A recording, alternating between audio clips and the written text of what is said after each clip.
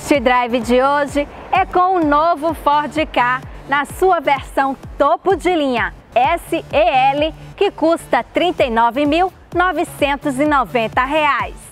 Nessa configuração, o Ka surge com uma das melhores relações custo-benefício do segmento de hatches compactos com motor 1.0 litro.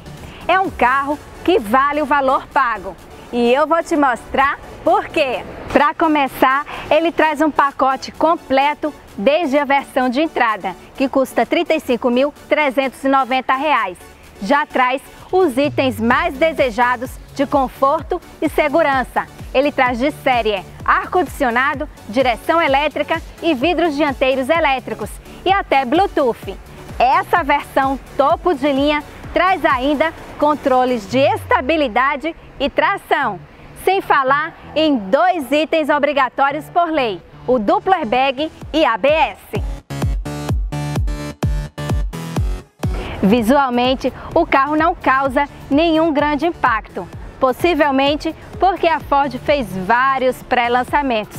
Então, quando o carro finalmente chegou às lojas, todo mundo já conhecia o modelo.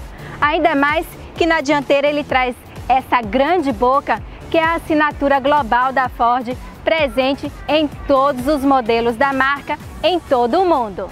O K tem um visual meio invocado, robusto e com vários vincos na lateral. Na parte de trás, o destaque é a traseira alta, com lanternas grandes e muitos vincos.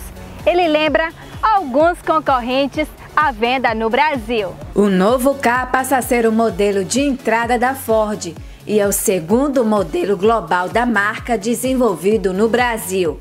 O primeiro foi o EcoSport.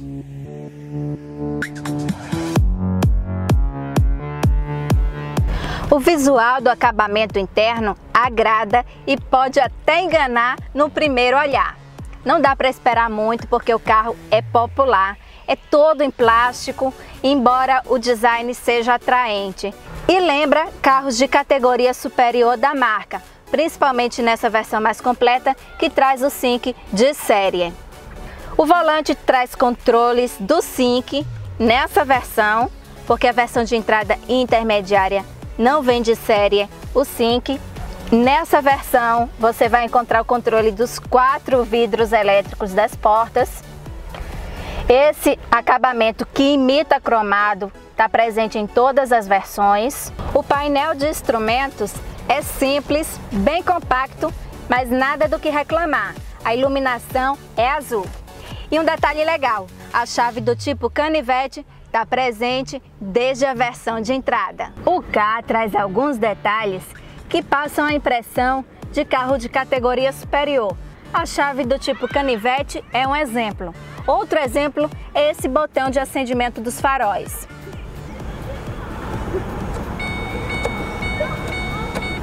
Aqui você acende o farol de milha e aqui a abertura do porta-malas.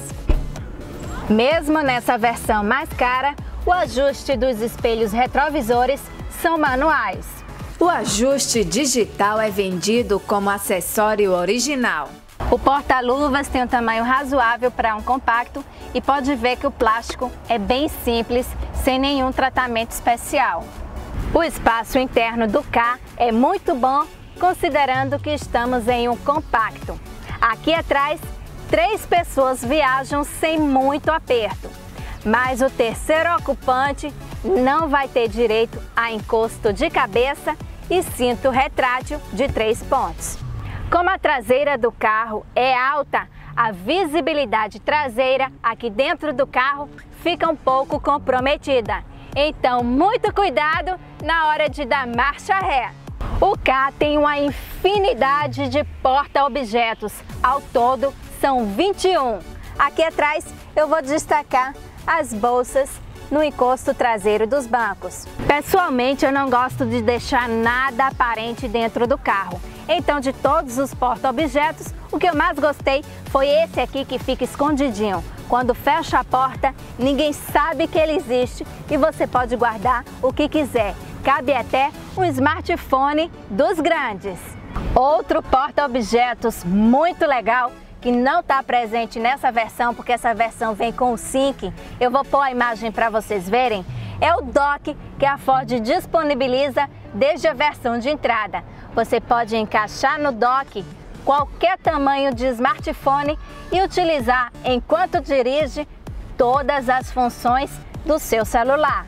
Nessa versão, o Sync vem de série e no K ele estreia uma nova versão com novas funcionalidades, como por exemplo a chamada de emergência em caso de acidente.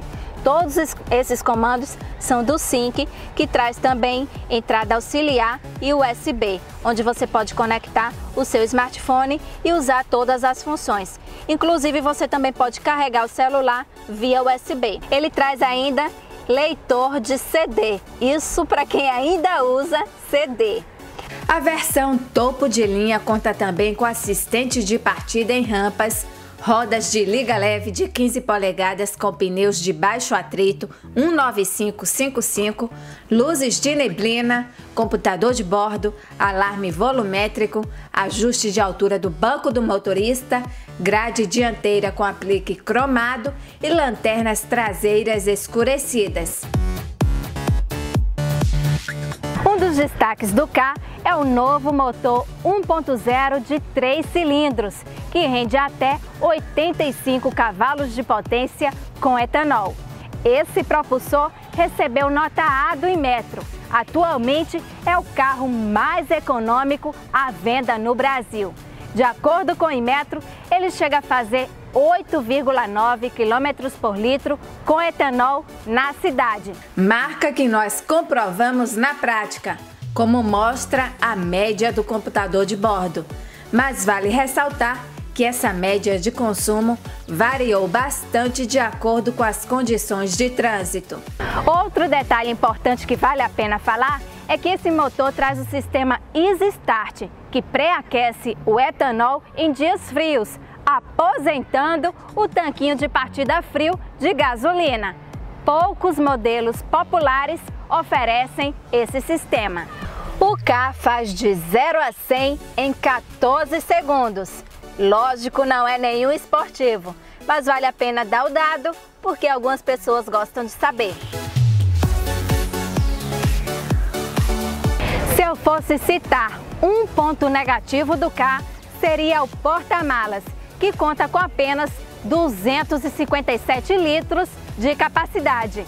É um dos menores da categoria. O Sync funciona com comandos de voz em português e no K vem com app Link. O K tem uma curiosidade. Mesmo manual, ele só liga com o pé engatado na embreagem.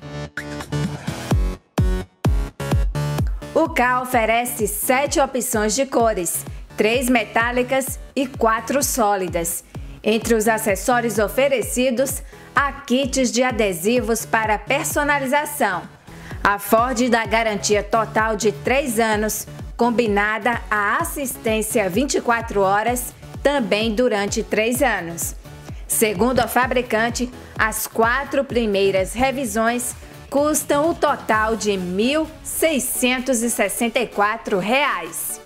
O K é mais um exemplo de que as montadoras estão melhorando o sistema de climatização. Nota 10 para o ar-condicionado do K, que no 2 já dá conta do recado. No número 3 já começa a fazer frio, no 4 eu não preciso nem falar. O comportamento dinâmico é bom e vai bem em curvas. Sua suspensão foi bem dosada para equilibrar firmeza e conforto. Gente, eu adoro direção elétrica, sou fã. Simplesmente não cansa, é muito confortável. E dentre os concorrentes diretos do K, apenas o Nissan Martin e o Volkswagen Up vêm com direção com assistência elétrica. O K é equipado exclusivamente com a transmissão manual de 5 marchas. E eu gostei muito. A posição dela é boa e os engates são bem precisos, é fácil de manusear. Eu não posso dizer que o K é um carro barato, essa versão mais completa custa 40 mil reais. Isso no compacto do segmento de entrada. Mas se você considerar que no Brasil não existe carro barato, então o K é sim uma excelente opção no segmento porque oferece alto custo-benefício, tem qualidade de construção e alto nível de equipamentos. Ponto para Ford que vai ampliar sua participação de mercado no Brasil.